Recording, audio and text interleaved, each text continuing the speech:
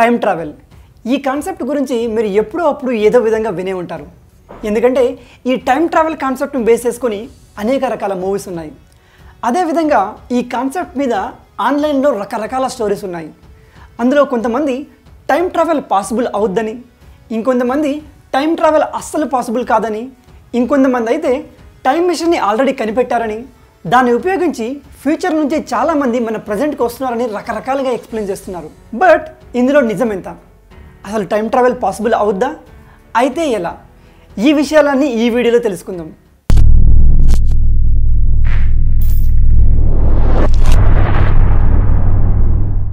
First time travel అంటే ఏంటి?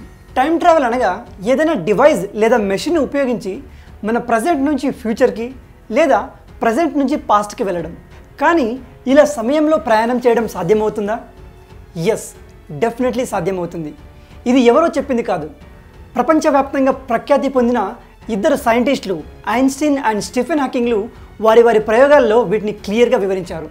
ఈ ఇద్దరు శాస్త్రవేత్తలు రెండు వేరువేరు విధానాల ద్వారా మనం టైం ట్రావెల్ని చేయొచ్చని వివరించారు. మొదటగా ఐన్స్టీన్ చెప్పిన విషయాల గురించి తెలుసుకుందాం. ఐన్స్టీన్ ప్రకారం మనం టైం డైలేషన్ అనే కాన్సెప్ట్ను ఉపయోగించి టైం ట్రావెల్ చేయొచ్చు. ఇక్కడ టైం డైలేషన్ ప్రకారం మనం ఎప్పుడైతే వేగంగా ప్రయాణిస్తామో మన టైం స్లో అవుతుంది. ఈ కాన్సెప్ట్ని శాస్త్రవేత్తలు ప్రాక్టికల్గా ప్రూవ్ చేశారు. ఈ టైం డైలేషన్ కాన్సెప్ట్ని మనం ఇంటర్నేషనల్ స్పేస్ స్టేషన్లో గమనించవచ్చు. ఎందుకంటే ఈ ఇంటర్నేషనల్ స్పేస్ స్టేషన్లు అంతరిక్షంలో ఉంటూ గంటకు దాదాపుగా ఇరవై ఏడు వేల కిలోమీటర్ల వేగంతో భూమి చుట్టూ తిరుగుతూ ఉంటాయి. ఇలా స్పేస్ స్టేషన్ వేగంగా తిరగడం వల్ల అందులో టైం స్లో అవుతుంది. ఒకవేళ మనం స్పేస్ స్టేషన్ టైంని అదేవిధంగా భూమి మీద ఉన్న టైంని కంపేర్ చేస్తే స్పేస్ స్టేషన్ టైం మిల్లీ సెకండ్స్లో స్లో నడవడం మనం గమనించవచ్చు. ఈ టైం డైలేషన్ టైం ట్రావెల్కు ఎలా ఉపయోగపడుతుంది అంటే కేవలం గంటకు ఇరవై ఏడు వేల కిలోమీటర్ల వేగంతో వెళ్తే మనకు టైం మిల్లీ సెకండ్స్లో తేడా వస్తుంది. అదే లైట్ స్పీడ్తో ప్రయాణిస్తే ఇక్కడ లైట్ స్పీడ్ అంటే సెకండ్కి మూడు లక్షల కిలోమీటర్లు. ఒకవేళ మనం లైట్ స్పీడ్తో ప్రయాణం చేస్తే మనం ఫ్యూచర్లోకి వెళ్ళిపోవచ్చు. ఇది ఎలా జరుగుతుందంటే ఫర్ సపోజ్ నేను నా ఫ్రెండ్స్ ఉన్నాం ఇక్కడ. నా ఏజ్ ఫర్ ఎగ్జాంపుల్ ఇరవై సంవత్సరాలు అనుకుందాం. నా ఫ్రెండ్స్ ఏజ్ కూడా అప్రాక్సిమేట్లీ ఇరవై ఉంటుంది. ఇప్పుడు నేను ఒక స్పేస్ షిప్ తీసుకొని దాదాపుగా ఐదు సంవత్సరాలు లైట్ స్పీడ్తో అంతరిక్షం మొత్తం తిరిగి వస్తే నాకు మరియు ఆ స్పేస్ షిప్లో ఉన్నవారికి ఆ టైం ఐదు సంవత్సరాల లాగానే ఉంటుంది. కానీ భూమి మీద ఉన్న వారికి యాభై సంవత్సరాలు గడిచిపోతాయి. నేను తిరిగి వచ్చేసరికి నా ఫ్రెండ్స్ అంతా ఇలా ముసలి వాళ్ళు అయిపోతారు. ఇకపోతే రెండవ పద్ధతి. దీన్ని స్టీఫెన్ హాకింగ్ ఎక్స్ప్లెయిన్ చేశారు. హాకింగ్ ప్రకారం మనం వామ్ హోల్స్ని ఉపయోగించి టైం ట్రావెల్ చేయవచ్చు wait first of all worm hole అంటే ఏమిటి? ఈ వామ్ హోల్ గురించి మనం తెలుసుకునే ముందు దాన్ని క్లియర్గా అర్థం చేసుకోవడానికి ఇంకొన్ని విషయాలు తెలుసుకుందాం. ప్రస్తుతం మనం నివసిస్తున్న ప్రపంచం త్రీ డైమెన్షనల్ వరల్డ్ అంటే ఇందులో X axis Y axis and Z యాక్సిస్లు ఉంటాయి. దీని ప్రకారం మనం ఈ ప్రపంచంలో ఏ వస్తువు తీసుకున్నా దానికంటూ ఒక పొడవు వెడల్పు మరియు ఎత్తులు ఉంటాయి. ఈ త్రీ డైమెన్షన్సే కాకుండా ఇంకో రెండు ఇమాజినరీ డైమెన్షన్స్ ఉంటాయి.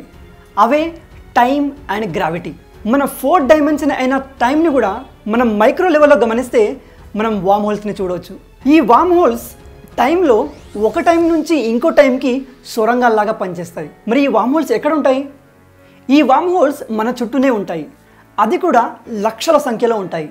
ఒకవేళ మనం ఈ వామ్ హోల్స్ని గుర్తించి వాటిని ఎన్లార్జ్ అనగా పెద్దది చేయగలిగితే వాటి ద్వారా మనం టైం ట్రావెల్ చేయొచ్చు. కానీ ఇప్పటి వరకు మన దగ్గర అటువంటి టెక్నాలజీ లేదు. సో మొత్తంగా హాకింగ్ ప్రకారం మనం ఈ వామ్ హోల్స్ని ఉపయోగించి ఫ్యూచర్తో పాటు పాస్ట్లో కూడా వెళ్ళవచ్చు. బట్ ఇక్కడ కండిషన్ ఏంటంటే మనం పాస్ట్లోకి వెళ్తే ఆల్రెడీ జరిగిపోయిన వాటిని ఏమాత్రం మార్చలేము. ఒకవేళ మనం అలా మార్చగలిగితే అనేక ఆశ్చర్యమైన విషయాలు జరుగుతాయి. వాటిని పారాడాక్స్ అంటారు. ఈ పారాడాక్స్ని క్లియర్గా అర్థం చేసుకోవడానికి ఒక చిన్న ఉదాహరణ తీసుకుందాం. ఫర్ సపోజ్ ఇక్కడ త్రీ క్యారెక్టర్స్ ఉన్నారు. Grand son son and grand father for suppose ఇక్కడ గ్రాండ్ సన్ ఒక రివాల్వర్ తీసుకొని వామోల్ ఉపయోగించి పాస్ట్లోకి అనగా వాళ్ళ తాతగారికి పెళ్ళి కాని సమయంలోకి వెళ్ళి వాళ్ళ తాతగారిని కాల్చి చంపేశాడు. ఇక్కడ క్వశ్చన్ ఏంటంటే గ్రాండ్ ఫాదర్ తన పెళ్ళి కాకముందే చనిపోయారు. అలాంటప్పుడు గ్రాండ్ ఫాదర్ని చంపింది ఎవరు? ఎందుకంటే గ్రాండ్ ఫాదర్ లేనప్పుడు గ్రాండ్ సన్ ఎక్కడి నుంచి వచ్చాడు? ఈ మొత్తం ఎగ్జాంపుల్ని గ్రాండ్ ఫాదర్ పారాడాక్స్ అంటారు.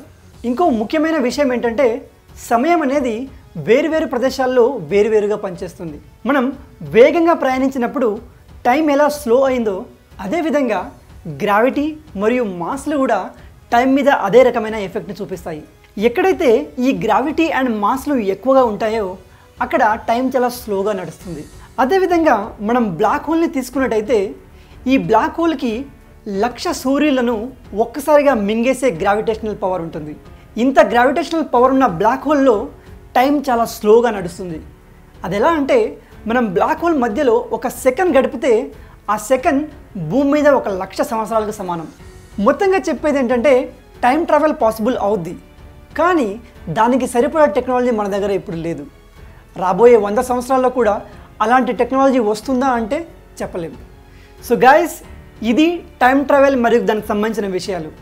రాబోయే వీడియోలో ఇంకో ఇంట్రెస్టింగ్ టాపిక్తో మళ్ళీ కలుద్దాం. Until then signing off